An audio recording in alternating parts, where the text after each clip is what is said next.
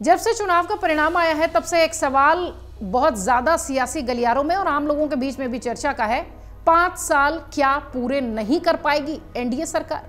पाँच सालों में पीएम मोदी और उनकी सरकार के सामने कौन सी बड़ी चुनौतियाँ होंगी, इसका ज़िक्र हम कोशिश करते हैं इस वीडियो में बताने की।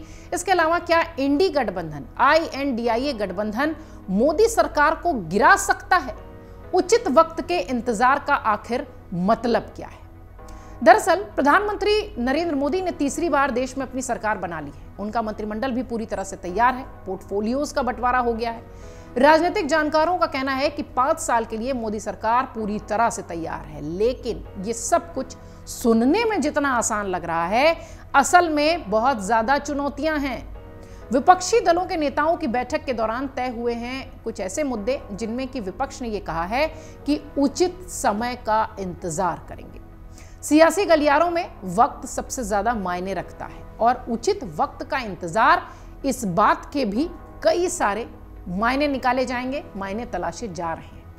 राजनीतिक जानकारों के माने तो विपक्ष की ओर से किए गए इशारों के बहुत बड़े मतलब है। कहा तो यहाँ तक जा रहा है कि अगर एनडीए की 2024 वाली सरकार 2019 की तरफ़ फैसले लेती है तो विपक्ष उसे कमज़ोर कर देगा और हर संभव कोशिश करेगा। यही नहीं, सियासी गलियारों में चर्चा इस बात की भी है कि एनडीए अपना पाँच साल का कार्यकाल भी पूरा नहीं कर पाएगी। आपको बता दें, लोकसभा चुनाव के परिणाम आने के बाद तमाम तरह के सियासी झंझावतों के बीच यह तय हुआ कि इंडी गठबंधन विपक्ष में बैठेगा। महत्वपूर्ण बात यह रही कि कांग्रेस पार्टी के राष्ट्रीय अध्यक्ष मल्लिकार्जुन खड़गे ने कहा कि पीएम मोदी के नेतृत्व वाली बीजेपी के फांसीवाद शासन के खिलाफ लड़ाई जारी रहेगी। उन्होंने कहा कि देश की जनता बीजेपी सरकार को नहीं चाहती है और इसलिए आईएनडीआईए गठबंधन द्वारा जनता की इच्छा को साकार करने के लिए उचित कदम उठाए जाएँगे। हम विपक्ष में बैठेंगे और उचित समय का इंतज़ार करेंगे। विपक्ष का ये उचित समय वाला बयान निश्चित तौर पर राजनीतिक जानकारों के लिए, राजनीतिक पंडितों के लिए और नेताओं के लिए भी सोचने का विषय बन गया। राजनीतिक जानकार कहते हैं कि इसका मतलब यह है कि विपक्ष अब केंद्र सरकार की ऐसी कोई भी योजना, कोई भी फैसला उसको सामान्य तौर पर नहीं लेने देगी, खासतौर से सदन के भीतर। क्योंकि पिछली लोकसभा में जिस तरीके से उनके पास संख्या बल था, इस बार उनके पास संख्या बल नहीं है। गठबंधन की सरकार में कोई भी एक दल बड़ा फैसला अब नहीं ले पाएगा, क्योंकि पिछली सरकार में बीजेपी के पास पर्याप्त नंबर थे, इसलिए बड़े फैसले लिए भी गए। विपक्ष इस बार भारतीय जनता पार्टी की इसी कमज़ोर नस को अपनी बड़ी ताकत बनाने के फिराक में है। वरिष्ठ जानकार ये भी कहते हैं कि इस बात को बिल्कुल कमतर नहीं आंकना चाहिए कि बीजेपी के साथ वाले कई दल पहले भी यूपीए के सहयोगी थे, क्योंकि अब यूपीए खत्म हो चुका है, आईएनडीआईए गठबंधन बन गया है तो उसमें अभी भी महागठबंधन के कई दल शामिल हैं। इन दलों में सबसे बड़ा नाम न सिर्फ़ तेलुगु देशम पार्टी का है, चंद्राबाबू नायडू का है, बल्कि कई ऐसे दल हैं जो आज एनडीए के साथ दिखाई पड़ते हैं। वो कभी यूपीए का हिस्सा थे। कई मामलों में विचारधारा के आधार पर एनडीए की तुलना में चंद्राबाबू नायडू, सीबी नायडू विपक्षी दलों के करीब भी पाए जाते हैं, माने जाते हैं। चंद्रबाबू नायडू के लिए कहा जाता है कि शरद पवार से उनकी निकटता है। चंद्रबाबू नायडू के लिए कहा जाता है कि अखिलेश यादव से उनकी निकटता है। विपक्षी दल इसको अपनी ताकत भी मान रहे हैं। हालाँकि, आंध्र प्रदेश और तेलंगाना के बंटवारे को लेकर राज्य की जनता अभी भी कांग्रेस से नाराज़ है। ऐसी दशा में टीडीपी का कांग्रेस वाले गठबंधन में जाना ऐसा लगता नहीं कि बहुत तुरंत यह दिखाई पड़ेगा, लेकिन राजनीति संभावनाओं का खेल है, कुछ भी हो सकता है।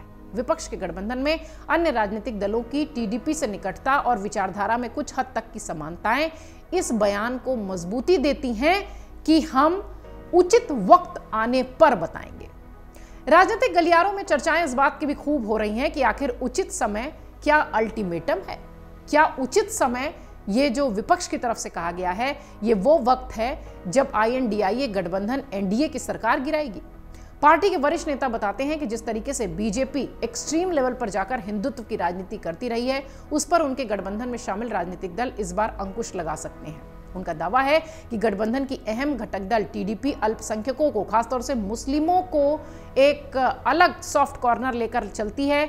उनके लिए घोषणाएँ उनके घोषणा पत्र में दिखाई पड़ती हैं, जो कि बीजेपी इससे शायद थोड़ा सा अलग राय रखती हुई नज़र आएगी। हो सकता हो, पाँच साल में खटपट दिखाई पड़े।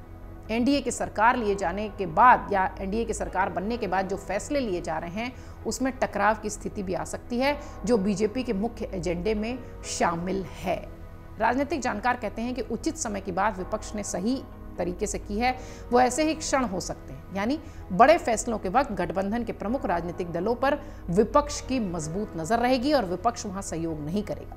बात यह भी सच है कि चंद्रबाबू नायडू की जितनी निकटता भारतीय जनता पार्टी के नेताओं से है, उतनी ही निकटता आईएनडीआईए के नेताओं से भी है। इसको ही विपक्ष के नेता अपनी मजबूती के तौर पर देखते हुए नज़र आते हैं।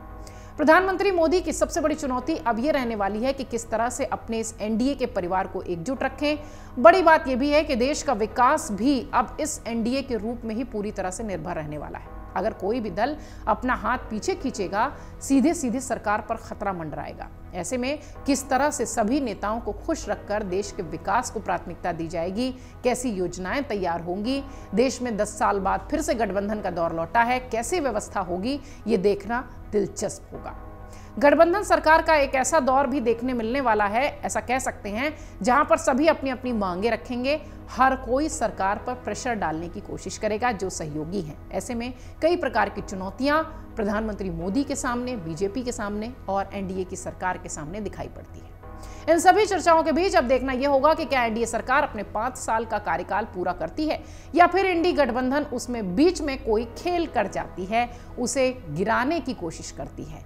जो भी है, राजनीति को लेकर कुछ भी कह पाना शायद बहुत जल्दबाजी होती है, क्योंकि जिस तरीके से राजनीति को लेकर कहा जाता है कि ये संभावनाओं का खेल है उचित समय की बात एक तरफ़ से कही जा रही है, दूसरे तरफ़ से यह दावा किया जा रहा है कि हम पाँच साल मजबूती से सरकार चलाएँगे। भविष्य के घर में छिपा है।